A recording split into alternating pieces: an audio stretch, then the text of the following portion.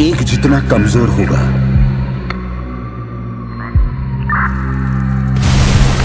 दूसरे में उतनी ही ताकत होगी।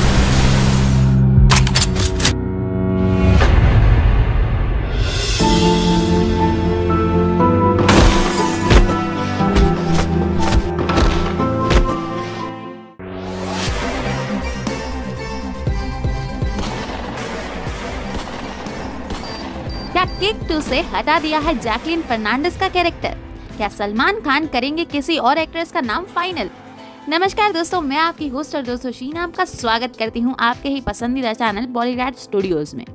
वैसे दोस्तों वीडियो शुरू करने से पहले हम आपसे एक सवाल पूछना चाहते हैं।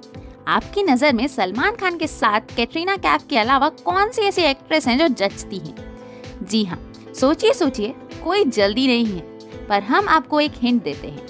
ये कैटरीना की तरह सलमान के दिल के करीब हैं और इनके नाम की स्पेलिंग आज तक बॉलीवुड स्टार को भी बतानी नहीं आती। कपिल शर्मा तो सरेआम में ही फेल हो जाते हैं। जी हाँ जैकलिन फर्नांडिस।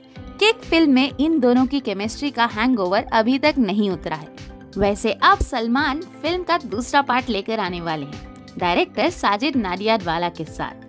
पर फ़िल्म में सिर्फ़ सलमान की एंट्री फिक्स होने से कुछ नहीं होगा। बाकी लोगों को भी तो फाइनल करना चाहिए। बात करें जैकलिन की तो कुछ लोगों का ये कहना है कि जैकलिन का किरदार फ़िल्म से हटा दिया जाएगा। पर हम आपको बता दें कि ऐसा कुछ भी नहीं होगा। जैकलिन ने किक में शाइना नाम का किरदार निभाया था और वो सलमान की लव इंटरेस्ट बनी थी। अब उसी कहानी को कंटिन्यू करते हुए सलमान और जैकलिन की शादी भी दिखाई जा सकती है। जैकलिन जैसी हॉट एंड श्रीलंकन ब्यूटी को छोड़कर किसी और को कास्ट करना कोई मतलब नहीं है। वैसे तो फ़िल्म में कौन सी हीरोइन होगी, ये सलमान खान ही डिसाइड करते हैं। पर जिस तरह जैकलिन और सलमान का बॉन्ड इंटरनेट हिला डालता है, इतना ही नहीं, बल्कि लॉकडाउन में तो पर्सनल फार्म हाउस पर सलमान और जैकलिन ने काफ़ी वक्त बिताया। वो इतने क्लोज फ्रेंड्स हैं कि एक दूसरे को सपोर्ट करने में बिल्कुल भी पीछे नहीं हटते। कभी कभी तो लगता है कि इन दोनों का कोई अफेयर तो नहीं है। जैकलिन के योलो फाउंडेशन के लिए भी सलमान उन्हें काफ़ी मदद करते हैं। अब ये सब कुछ सुनकर आपको लगता है कि सलमान जैकलिन को फ़िल्म से निकाल देंगे। और अभी तो कहानी में ट्विस्ट बाकी है, क्योंकि पिछली फ़िल्म में रणदीप हुड्डा भी थे। जैकलिन के पीछे जो उनसे शादी करना चाहते थे। पर सलमान ने बीच में टांग अड़ा दी, हर बार की तरह। तो अब उनका बदला भी तो बाकी है। और इससे भी बढ़िया बात यह है कि जैकलिन को किक टू की सख्त ज़रूरत है। अब आप कहेंगे कि जहाँ देखो वहाँ जैकलिन अक्षय या सलमान के साथ ही दिखाई देती है। ये बात बिल्कुल सही है। जैकलिन बच्चन पांडे में नज़र आई थी।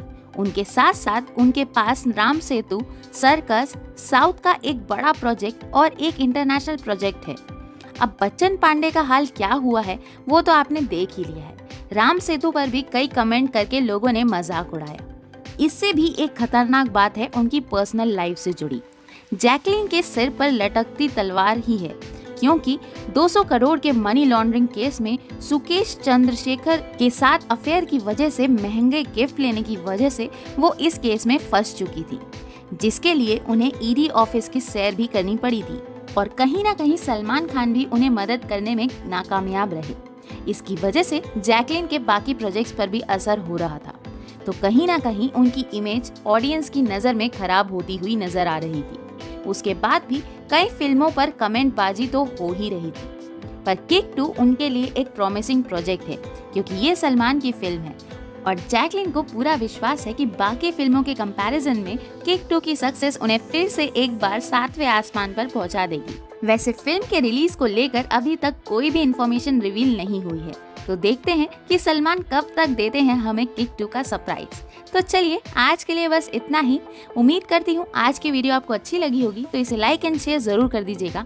और ऐसे ही कुछ बॉलीवुड की अपडेट्स के लिए हमारे चैनल को सब्सक्राइब करना बिल्कुल भी मत भूलिएगा। मिलते हैं अगली वीडियो में, तब तक के लिए नमस्कार।